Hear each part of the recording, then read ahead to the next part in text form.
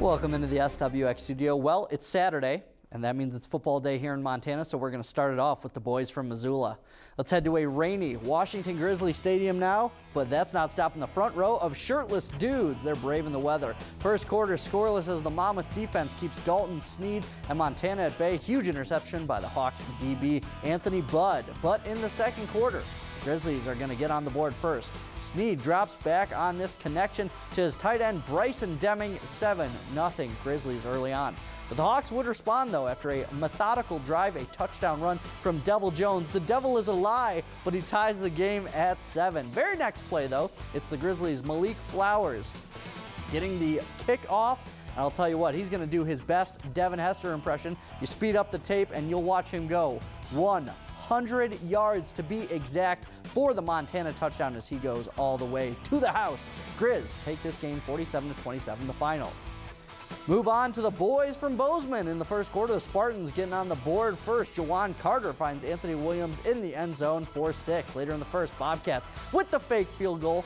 Kicker Tristan Bailey has all kinds of space, and he picks up the big gain all the way down to the 15-yard line. Next play, Logan Jones with some room. He takes it in for the touchdown to tie the game.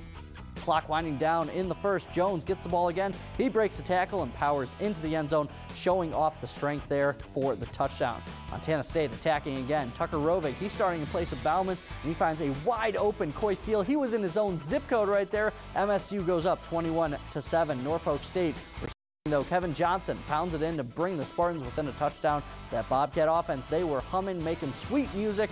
Rovig finds Travis Johnson in the back of the end zone, taking advantage of the opportunity. Bobcats win this one 56 to 21. To Montana Western we go. Homecoming for the Battlin' Bears out at Herb Klindt Field, and they would pack the crowd there. Rocky driving down the field on their first drive and punch it in via the QB keeper by Drew Korf. Rocky striking first with that 7-0 lead. Next drive, Rocky moving the ball well once again, but Korf would try to fit this one into a tight window. No, no, no, my friend. He's going to get picked off. Montana Western getting the momentum back on their side. Bulldogs in the red zone as John Jund finds Nate Simpkins on the out route for the touchdown. That'll put Western up 14-7 in the second quarter. Start of the second half now as Kyler Prant takes the handoff. He's going to slip out of the pile. He's got some running room. He's got reservations for six as he gives the Bulldogs the two-score lead over Rocky 21-7. Bulldogs win this one 38-7. How about some more Frontier Conference action now? This one in Helena between Carroll College and MSU Northern. We'll start it off like we always do in the first quarter when Devin Bridgewater, he's going to air it out to Shane Sipes for a 43-yard touchdown strike, 7 nothing Saints lead. Move ahead, second quarter, with the Saints up 14-0. Major Ali, he's a major problem for defenses. He takes it in from 15 yards out, but they would miss the extra point. Saints lead 20-0. Now, if you've been paying attention to Carroll College football this season, you know we wouldn't be able to go a full highlight without seeing Matthew Burgess. He takes this one in from 29 yards out. Saints lead 30 to 13. They go on to win this one 54 to 26. Hey, make sure to tune in to SWX tomorrow night at 6 p.m. for Saints Insider, our Jeremy Schnell. We'll sit down with the Saints' two-star freshmen, Matthew Burgess and Zach Spearoff, and I promise you, you won't want to miss it. Speaking of Carroll College, after 17 years as the head football coach of the Saints, Mike Van Diest decided to retire following last season.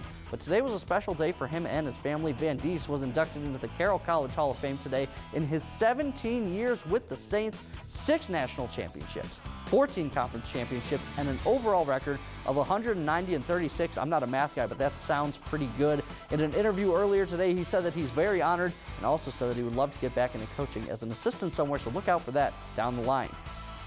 Well, college football isn't the only gridiron action going down today. Some high school teams were in action, including a matchup in the Electric City between the Bulldogs and the Mustangs.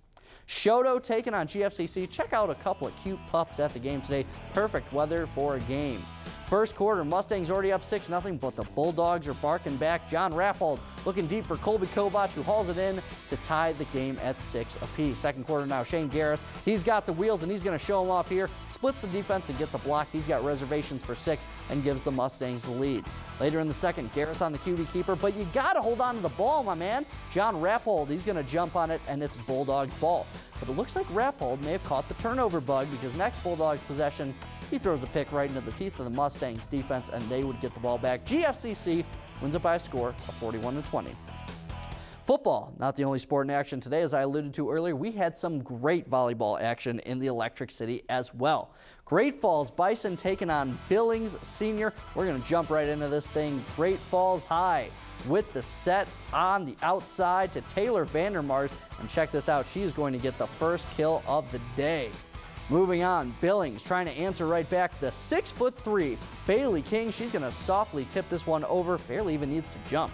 Now Keller back to serve for senior. And look at this. Vandermars just taking a look at this one. She may have thought it was going out, but it doesn't. Senior not slowing down, keeping the momentum coming and going. King with the kill, putting all her power into this one, not holding back. The Bison never have been ones to back down from a challenge.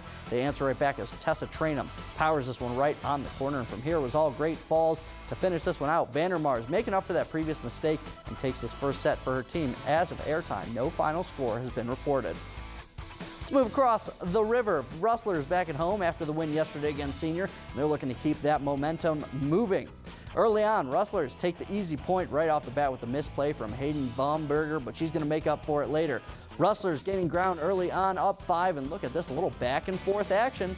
Olson Hiller and then back to Olson. She'll find the Ol to get the point for the Rustlers. Skyview now down 9-0. They're looking to get on the board. Olson trying to find the hole, but defended well again by Olson. Finally in, Baumberger. I told you she was going to make up for it. She gets the tip for Skyview's first point.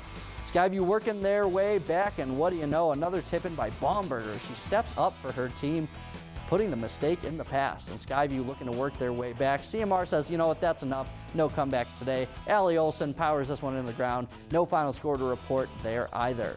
And don't forget to stay tuned for our 10 o'clock show over on ABC. I'll have football recaps for you if you missed any of them, as well as plenty of soccer action, a little bit of hockey as well. That's your check on sports. I'll see you at the desk.